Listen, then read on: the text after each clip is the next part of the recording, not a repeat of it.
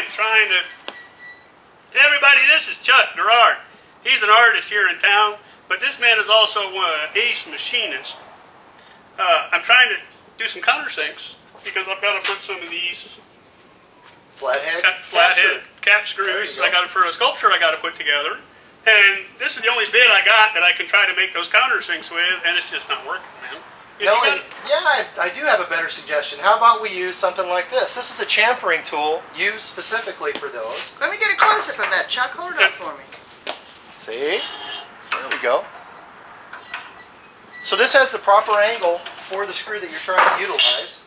So we'll just go ahead and chuck it up here.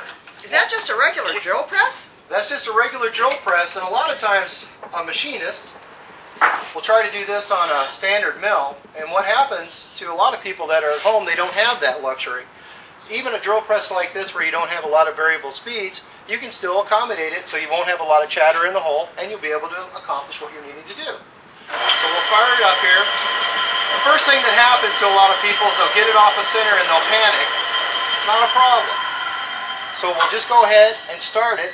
And then instead of doing what Kevin was doing and have it dancing around, we'll just hold a little pressure down, run it reverse, and what that'll do is help center up the chamfering tool. Huh. Fire it up, start going into it.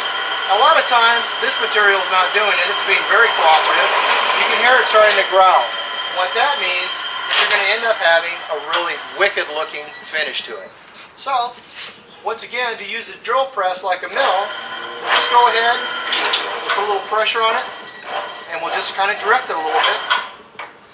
Voila, perfect hole every time. What do you mean by drift, Chuck? Well, what happens when you drift the drill and the motor, rather than keep it under constant power and constant attention or constant tension, all we're doing is we're letting it find the center and we're letting it cut by just utilizing a little bit of pressure and letting turning the motor off, hence drifting. Not in your sports car. So we turn it on. Just very delicately switching it on and off. Well, when you stop it abruptly and you don't let it drift and you keep too much pressure on it, you still leave a chip in it. That's not what we want Wait, to do. wait. Come here, look at this. See this? That's pretty cool. But that's not what you want. But that's not what we want. So, to help Kevin's endeavor out here, you can hear it squeaking and hollering. Pressure on it. And drift. Until we get the perfect countersunk hole. And there you go. Great. Well, where, where can I buy those? You can buy those actually at most hardware stores, um, or you can buy them online. At Ace, Home Depot? I'm pretty sure that you can actually.